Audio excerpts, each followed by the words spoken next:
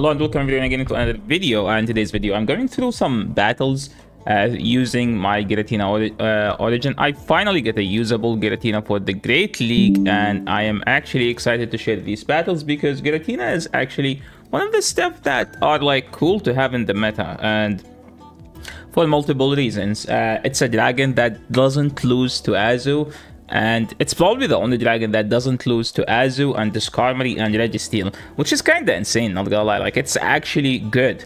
Okay, the problem is you need a level 15 one, which is from a research that was available like two or three weeks ago, and you have to trade it and get it below 1500 because it goes up like similar to Cress, it's above, uh, it's around 1600.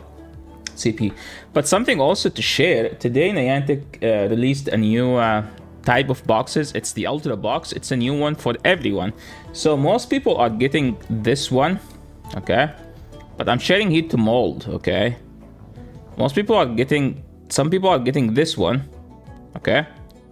Some people are getting this one, so there is no remote here. And some people are getting this one here, like 8 passes with uh, an elite charge TM. So um, I am one of those unlucky ones and I get this one where there is no Elite TM. Uh, it's a decent price for having an Elite TM and uh, Elite Premium, Elite Battle Passes.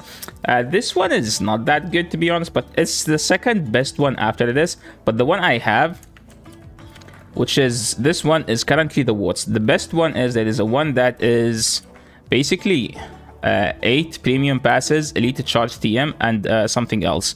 Uh, so, are you one of those lucky ones, or you just like me and you have no luck and you get the worst box among these stuff? Because, not gonna lie, right now I need Elite TMs because I need to use a Feraligatr in the Ultra League and I don't have one built, so I'm gonna end up using I'm gonna end up using an Elite Charge TM. And now let's go back to the battles and the first one here as you can see okay let me fix okay so looks like everything is fixed. I've recorded this video like two times so far so please if you like the contents make sure to leave a like me to the channel and subscribe. And this team is basically uh skarmory double shadow claw users.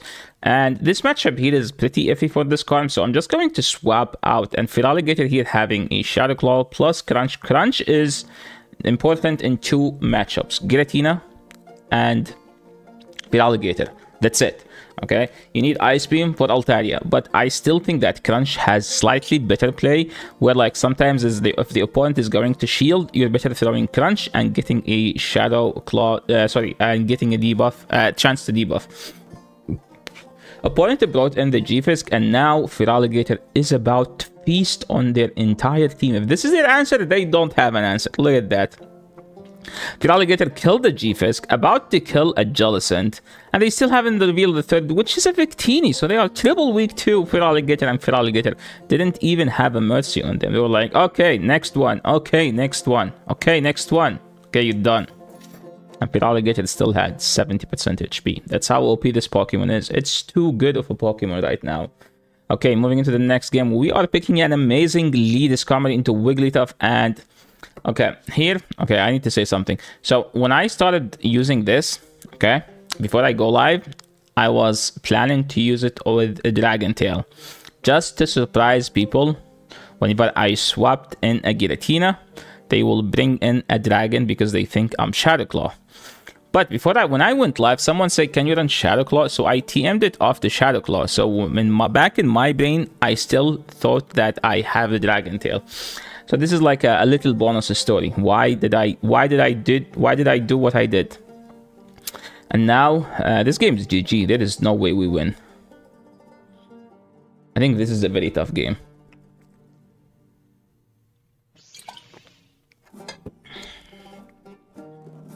Uh, oh my, that's that's a tough one. I thought like they will go for double Dragon Claw.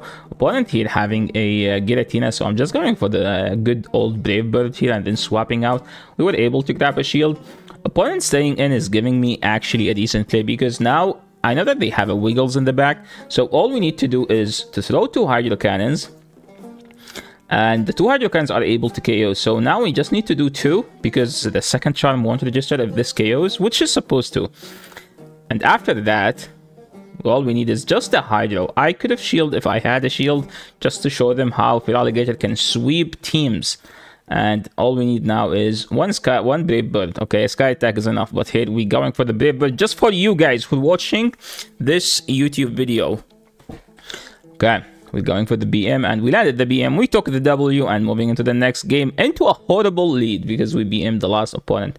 So opponent is trying to get some energy and then they swapped into a Dewgong. Every Dewgong so far has been shielding my Shadow Balls. So I'm at this point, like next time, I'm just actually going to start beating. I, I believe opponent here will just double shield for some reason.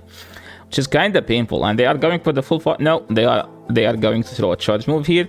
So now the play is I need to go back to Skarm, soak two charge moves. But two charge moves are gonna going to do lots of damage. So maybe throw at one point when they are in the Brave Bird range. Okay, they are in Brave Bird range. Okay, we fell for it twice. Once when I played and now. Uh, the Brave Bird actually is a, was helpful for me because that put them in uh, Hydrocan range. And then they, we ended up CMPing a Scald and now, upon bringing back the Dewgong, I'm going to call a bait here. Just because I have two shields, that doesn't mean I'm going to use my shields, my friend. We ended up calling an amazing bait.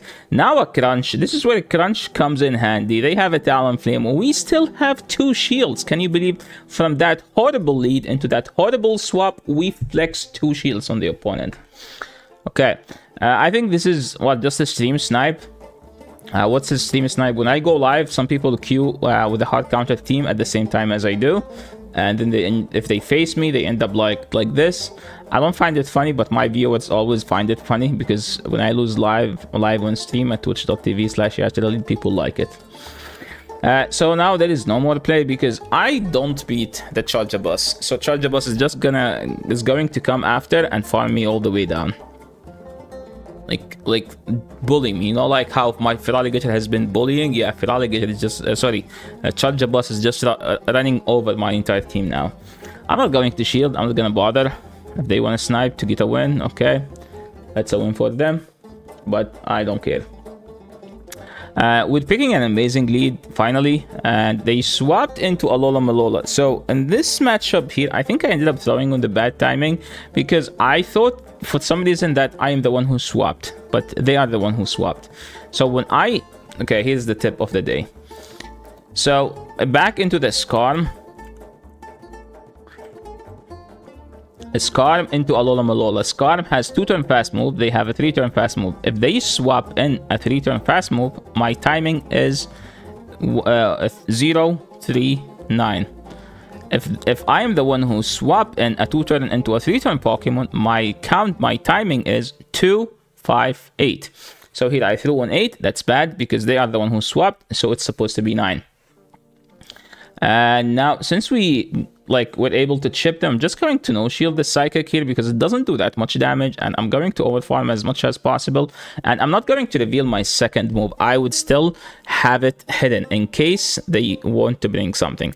And for the people who thought that this team is weak to Umbreon, I'm going to show you how this team destroys Umbreon, okay? Here they throw a move. I'm going to shield. You know why? Because I have a move, uh, which mean I have uh, this move is going to do also around 40%. So now the Umbreon is kind is kind of dead, and all I need to do is just do some amazing fast move, amazing tapping, and they brought the ground ball. I don't know why. I don't I don't know why they haven't top left it and Skarmory was able to farm them all the way down. Then Skarmory tapped the Umbreon after. I didn't even reveal my third. If you think this team is weak to Umbreon, I don't know what to tell you. So here I'm just going to swap out to Giratina. I know Giratina here is the hard answer, but I don't want to swap in Feraligatr because people are prepared for the Feraligatr more. And Poliwrath can beat Feraligatr while Giratina, uh, while Poliwrath can't beat Giratina yes, they will be able to IC win, but I will be able to do neutral damage while their damage is double resisted. Uh, so here I was able to grab a shield, so I'm going to no shield here, and then try to farm as much damage as possible. I think I go for alligator here, and then I need to catch an EQ at 9, but I ended up swapping one short, because usually I expect people uh, to spam it instantly, but it wasn't the case. So I'm got I we, we tap the sky attack here, and I'm not I'm going to no shield here. And this guy, I don't know, I don't think this guy attacked KOs. Okay, they ended up shielding, so it didn't matter. So they have two fast moves. So I'm going to do one, then throw. Now they are, I think, three away. So just going to do one, then throw. Because all we care about is just getting rid of this. We don't need to overfarm when you have a shield up, remember this. But overfarming does help sometimes, and they ended up having a Clodsire. So in this game, if you remember, we ended up getting hot countered in the lead. hot countered on the swap. We had like a Skarmory into Poliwrath. Poliwrath destroys that because it's a two shield scenario. Then Giratina into a Walrein, but we didn't top left. So sometimes don't top left, stay until the end. Sometimes like this game, your third might might hot counter the third, and then you have a huge chance to flip the table on them. And now all I need to do, if you guys can see here, so let me let me show you something. So now opponent has a wink on. This is the second tip of the day. Opponent has a wink on, which is catching. So if you look at me, I know I have the move, but I'm not going to tap here because they only win if they catch. So I'm just going to keep farming. And now they blow the third. This move doesn't KO. So we're just going to keep farming. Then one Hydro should take care of the uh, Clodsire. That should be a game. Okay, moving into the next battle, we have Skarmory into Dunsparce. So in this matchup, Skarmory dominates this because Dunsparce is just horrible. Sorry, I, am not uh, like my intention is not to offend Dunsparce fans, but like the, the problem with Dunsparce is that all of its damage come from non-stab charge moves. Yes, Dunsparce has some good charge moves, below average, and average charge move. Drill Run is average, let's say. Average good. Rock Slide is below average, which is just average. But usually those the Pokemons with these charge moves such as Excadrill are good because they are they do like Excadrill does fine with these charge moves and they they actually are great on Excadrill because Excadrill has sky high attack and the, the Excadrill benefit from the fact that Drill Run is stab so you get like I think 12 or 20% bonus damage uh, which is decent amount like imagine doing one fifth extra of the damage this is where a crunch comes in handy when I know that the opponent will shield. So I'm just going to crunch here and fish for a debuff. If we get the debuff, that's amazing. If we don't, we get a shield back, right? Uh, we're going to shield here. And I'm going to overfarm by uh, a couple fast moves and then CMP them. Now if they shield, I'm fine with letting this go, but if they don't shield, we don't care, and we're going to throw an uh, a crunch. I think opponent is expecting this to not be an ice beam because I didn't build for an ice beam, so that's why having crunch was nice. Even though we build the crunch, maybe they would like, all, the only play was to, to call a bait, and get Giratina here finally clutching a game. Uh, Skarmory into Medi. This is an annoying matchup. They swapped into Empoleon. And in this matchup here, Crunch is actually good to have. It does two more damage, but those, I, but those two more damage are enough. I think to do like 50% more health.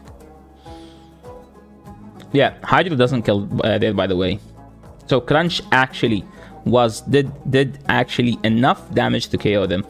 So now just going to spam these hydro cannons after the hydro cannon and now look look at the Feraligatr. Uh, uh, grabbed the two shields, killed the penguin, and got Medi to half HP. The play here is actually going to Giratina because Giratina forced them to throw ice punches because I feel like whatever is in the back should beat Giratina.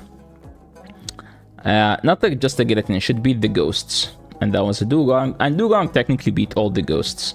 Uh, well, technically we were able to chip the Dewgong, so now we don't care to shield, even though a shielding wouldn't be a bad idea, but we don't care. Uh, we're going to, uh, the play here is farm, farm, farm, and then don't throw anything, just keep farming, and Brave Bird the Medi. So we have a charge move, our Brave Bird is debuffed, but should do enough damage to KO them.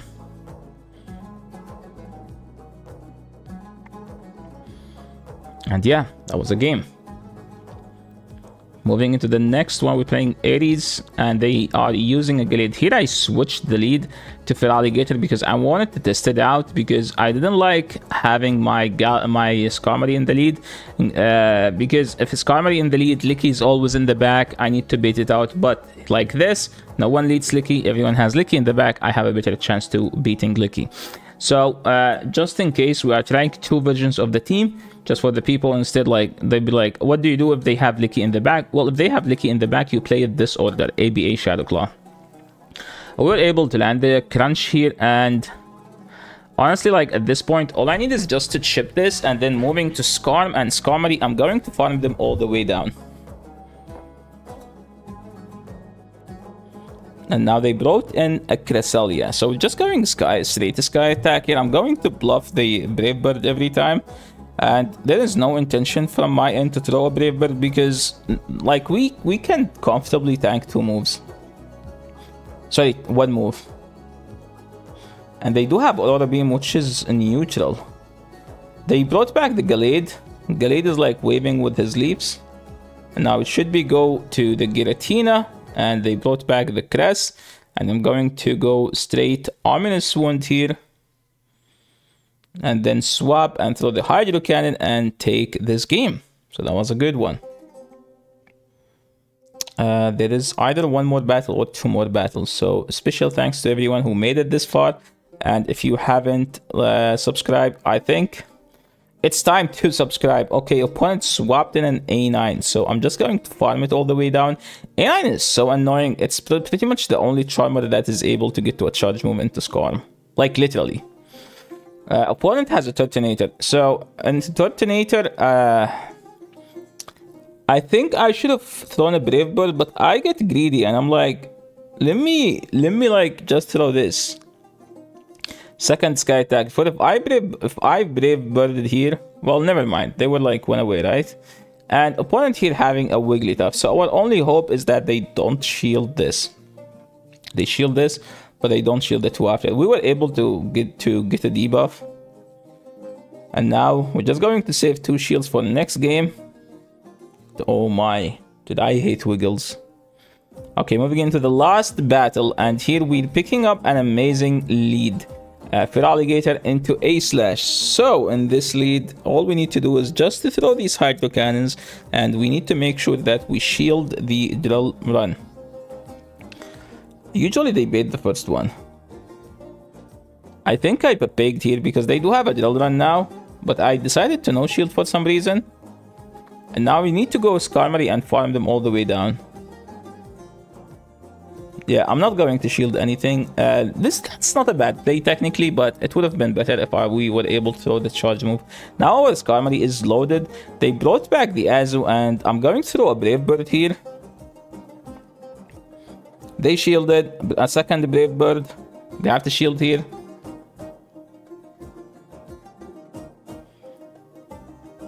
Okay. Uh, we need to, to do 6 then throw because they are far away. So I have the Ominous Wind here. And they brought in an Annihilape and I decided to instead to like fully farm this because it's a it's an ominous wind and they did seven fast move. This is not eight. So this is a night slash. So they were able to get to night slash no shadow ball and now i do have a shadow ball which is enough to take them out and we take the game and that was a nice win. So thank you so much everyone for watching. This is the end of the video. If you guys like these battles, make sure to leave a like, me the channel, make sure to subscribe. And please let me know, are you one of those lucky ones? Did you get a good box or no? Do you have a Giratina origin or no? Because I am interested to know if you guys have this Pokemon. I would be glad to make more content around it. But if you guys don't have it, there is no point of making content about the Giratina origin. Thank you so much for watching and see you in the next video. Peace.